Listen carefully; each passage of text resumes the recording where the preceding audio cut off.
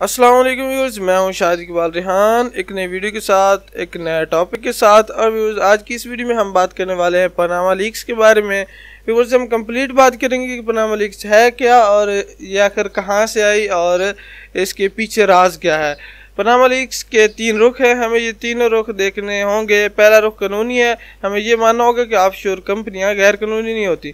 دنیا میں بے شمار ایسے ممالک ہیں جہاں آف شور کمپنیاں بنائی جاتی ہیں، ان کمپنی میں سرمایہ ڈالا جاتا ہے اور اس سرمایہ سے بعض جائیدادیں خریدی جاتی ہیں، فیکٹریاں لگائی جاتی ہیں اور تجارت بھی کی جاتی ہے۔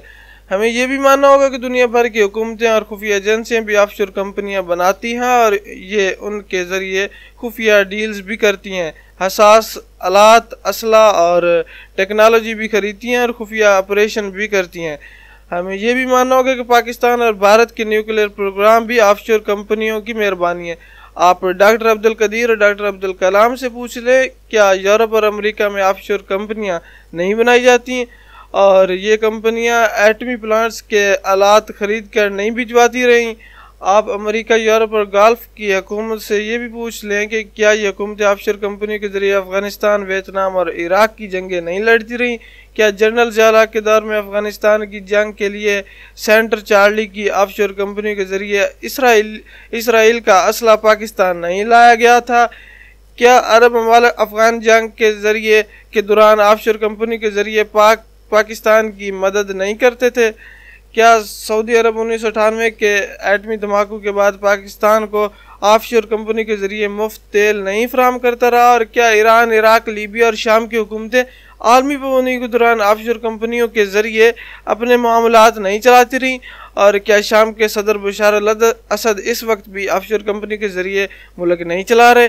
آپ اس طرح کی سی آئی اے راہ کے کے جی بی اور مساعد کے معاملات بھی دیکھیے، کیا یہ تمام خفیہ ایجنسیوں کی آفشور کمپنیوں کے ذریعے اپنے آپریشن نہیں چلاتی رہیں اور کیا یہ وہ مجبوریاں نہیں ہیں جن کے وجہ سے پوری دنیا کی حکومتیں آفشور کمپنیوں کو قانونی اور قانونی اور جائز قرار دینے پر مجبور ہیں۔ ہمیں یہ بھی ماننا ہوگا کہ دنیا پناہ لیگ سے پہلے اس حقیقت سے واقف تھی۔ یہ جانتی تھی کہ ہزاروں سمگلر، مافیا، لارڈز اور رشوت خور اور کرپٹ ناصر اس قانونی رعایت کا فائدہ اٹھا رہے ہیں۔ یہ اپنی بلیک منی کو آف شور کمپنی کے ذریعے وائٹ منی کر رہے ہیں، لیکن یہ ملک خاموش رہے، کیوں؟ اس خاموشی کی وجہ اس کے توسیع ترین مفادات تھے۔ یہ جانتے تھے یہ جانتے تھے کہ ہم نے جس دن آف شور کمپنیاں پر پابندی لگا دی، ہم اس دن دوسرے ممالک سے ممنوع، اسلحہ اور خطرناک ٹیکنالوجی خرید نہیں سکیں گے اور نہ ہی دشمن ملکوں کی حکومتیں گرانے اور بنانے کے لیے پیسوں کا لین دین کر سکیں گے۔ یہ جانتے تھے کہ ہم پابندیوں کے بعد خفیہ انٹیلیجنس آپریشنز کر سکیں گے اور نہ ہی کیک بیکس دے کر اور لے سکیں گے۔ چنانچہ یہ اسی سال تک خاموش رہے۔ اسی سال کی اس خاموشی کے دوران آف شور کمپنی کے خلاف کسی قسم کی قانونی قانون نہ ہو سکی۔ پناما لیگس آئین تو پوری یورپی ممالک میں قانونی قانون بنتا رہا۔ فرانس اس معاملے میں تمام ملکوں سے بازی لے گیا۔ فرانس کے ایک ہزار کاروباری لوگ پناما لیکس میں ملوث ہیں۔ فرانس نے ان کے نام سامنے آتے ہی قانون سازی شروع کر دی۔ فرانس میں اب آف شور کمپنیوں کے مالکان کو سات سال قید اور پندرہ سال کے پندرہ لاکھ یورو جرمانہ ہو چکے ہو سکتے ہیں اور کچھ کو ہو بھی چکے ہیں۔ جرمنی، برطانیہ نیوزی لینڈ اور سپین میں بھی قانون بن چکے ہیں۔ یہ بھی چند دنوں میں باقاعدہ قانون بنا دیں گے۔ ہمارے ملک میں تاحال آف شور کمپنی کے خلاف کوئی بھی قانون موجود نہیں ہے۔ ہم اگر پناما لیکس کے اٹھائی سو ملزموں کو سزا دینا چاہتے ہیں تو پھر ہمیں قانون سازی کرنا ہوگی اور سزا کے باری بعد میں آئے گی، دوسرا پہلو اخلاقیات ہوگا۔ ہم اگر قانون کو سائڈ پر رکھیں اور اخلاقیات کی بنیاد پر فیصلہ کریں تو آف شور کمپنیاں قانونی ہونے کے باوجود غلط ہیں۔ یہ بنائی اس وقت جاتی ہیں جب کوئی شخص ادارہ یا حکومت معاملات کو خفیہ رکھنا چاہتی ہے۔ آپ اگر اپنی بلیک منی چھپانا چاہتے ہیں، اپنی منی لانڈرنگ کرنا چاہتے ہیں، آپ کی بیکس دینا چاہتے ہیں یہ وصول کرنا چاہتے ہیں، آپ اسلحہ منشیات اور توان کی رقم ٹھکانے لگانا چاہتے ہیں یا آپ ٹیکس چوری کرنا چاہتے ہیں تو آپ آف شور کمپنیاں بنائیں گے۔ چنانچہ یہ کمپنیاں قانونی ہونے کے باوجود ناجائز اور غلط ہیں۔ یہ درست ہے۔ دنیا کا کوئی قانون ان کمپنیوں کے مالکان کا احتساب نہیں کر سکتا، لیکن اگر ضمیر کوئی چیز ہے، انسان اس کے سامنے جواب دہ ہے، تو پھر یہ کمپنیاں غلط ہیں اور ان کے مالکان کو کبھی نہ کبھی، کہیں نہ کہیں اس کا حساب دینا پڑے گا اور ہمیں پناما لیکس کے بعد دنیا کے اٹھتر ممالک میں یہ حساب بھی ہوتا نظر آ رہا ہے اور اخلاقیات بھی مضبوط ہوتی دکھائی دے رہی ہیں۔ آئس لینڈ کے وزیر اعظم نے پانچ اپریل کو اسی اخلاقی دباؤ میں آ کر استعفیٰ دیا، ورنہ آف شور کمپنیاں تو آئس لینڈ میں بھی قانونی ہیں اور یہ بھی میاں نواز شریف کی طرح جوڈیشل کمیشن بنا کر جان چھڑوا سکتے تھے۔ لیکن دنیا اب کیونکہ حقیقتاً میں گلوبل ولیج ہے اور اخلاقیات اس گلوبل ولیج کا یونیورسل لا ہے۔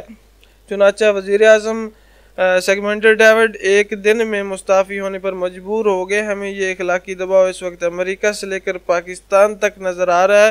دنیا بہت جلد آئس لینڈ کی طرح بھی ہیو کرنے پر مجبور ہو جائے گی۔ اور تیسرا اور آخری پہلو شریف فیملی ہے۔ شریف فیملی کو بہرحال ماننا ہوگا کہ یہ پھنس چکے ہیں اور اب انہیں بھی جواب دینا پڑے گا۔ میاں شریف سات بھائی تھے میاں مراج ساتواں میں ساتوں میں سے ایک بھائی تھے، ان کے تین بیٹے اور دو بیٹیاں ہیں۔ ایک صاحبزادی نصرت مراج میاں شہباز شریف کی اہلیہ تھیں نصرت شہباز کے تین بھائی ہیں، میاں ریاض مراج میاں الیاس مراج اور میاں اعجاز مراج ہم اگر تیسری نسل میں جائیں تو میاں الیاس کے صاحبزادے کا نام حسیب الیاس اور میاں ریاض مراج کے بیٹے کا نام وکاس مراج ہے۔ میاں الیاس مراج حسیب وکاس کے نام سے ایک کمپنی چلا رہے ہیں۔ یہ کمپنی ننکانہ صاحب میں ایک شوگر مل کی مالک بھی ہے۔ پرام لیکس میں حسیب وکاس گروپ کا نام بھی شامل ہے۔ اس گروپ نے دو ہزار تین میں بہاماس میں ہال اینڈ کمپ لمیٹڈ کے نام سے فرم رجسٹر کروائی۔ کرا لی تھی اور الیاس مراج اس فرم کے مین شیئر ہولڈرز میں سے ایک ہے۔ میاں شباز شریف کی فیملی کا دعویٰ ہے کہ ہمارا میرا الیاس مراج کے کاروبار سے کوئی تعلق نہیں ہے۔ ہم نے انیس سو نوے کی دہائی میں کاروبار الگ کر لیا تھا، لیکن الیاس مراج اس کے باوجود میاں شباز شریف کی علیہ کے بھائی ہیں اور ان بچوں کے ماموں بھی ہیں۔ چنانچہ شریف فیملی خود کو اس الزام سے بری الزمہ کیسے رکھ سکے گی؟ میاں شباز شریف کو الیاس مراج کی آفشور غلطیوں کا خمیازہ تو بھگتنا ہی پڑے گا۔ میں شباز شریف کی دوسری اہلیہ تیمینہ دورانی اور تیمینہ دورانی کی والدہ سمینہ دورانی کا نام بھی پناما لیکس میں شامل ہے۔ یہ خواتین تین کمپنی کی مالک ہیں۔ آخر آخری کمپنی انتیس ستمبر سن دو ہزار دس کو برٹش ورجن آئی لینڈ میں رجسٹر کروا ہوئی اور میاں شباز شریف اس وقت پنجاب کے وزیر اعلیٰ تھے۔ یہ درست ہے کہ شریف فیملی نے آج تک تمینہ دورانی کو بہت تسلیم نہیں کیا۔ یہ چودہ برس کی ازدواجی رفاقت کے دوران شریف فیملی کے کسی بھی گھر میں داخل نہیں ہو سکیں۔ یہ بھی درست ہے کہ تمینہ دورانی نے بڑی جرت کے ساتھ پانچ اپریل کو شریف فیملی کے خلاف ٹویٹ کیا اور کہا، غیر قانونی کا مطلب قانون توڑنا ہے۔ غیر، لیکن غیر اخلاقی کا مطلب ہے روح توڑنا، جو بدترین جرم ہے۔ اگر بیرونی آف شور کمپنیاں، جائیدادیں اور اکاؤنٹس قانونی بھی ہوں تو میرے لیے غیر اخلاقی ہیں۔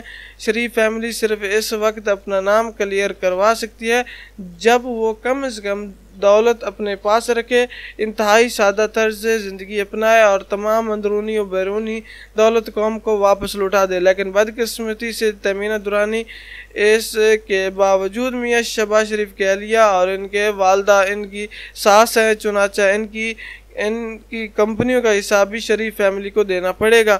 ہم اب آتے ہیں میاں شب نواز شریف کے صاحبزادوں اور صاحبزادی کی آفشور کمپنیوں کی طرف یہ درست ہے کہ حسیب نواز حسین نواز حسن نواز اور مریم نواز عقل بالغ ہیں اور خود مختار ہیں اور یہ دنیا کے کسی بھی ملک میں کاروبار اور نوکری کر سکتے ہیں، یہ جائیداد بھی خرید سکتے ہیں اور رہائش بھی اختیار کر سکتے ہیں۔ اور یہ وہ حق ہے جو دنیا کا کوئی بھی شخص ان سے نہیں چھین سکتا۔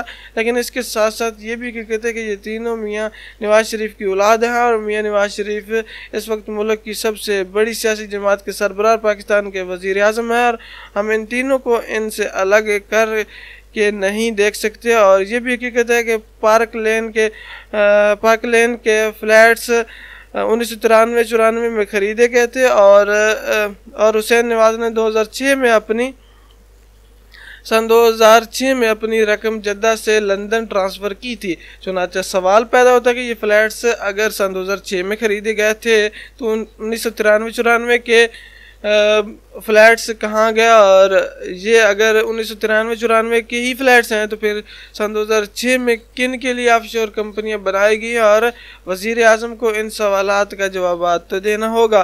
انہیں خود کو عوام کی کٹہرے میں کھڑا کرنا ہوگا، انہیں دنیا کو فیس کرنا ہوگا اور اگر حقیق اور ایک اور حقیقت ہمیں ماننا ہوگی کہ پناما لیکس میں دو سو پچاس باسر پاکستانیوں کے نام شامل ہیں۔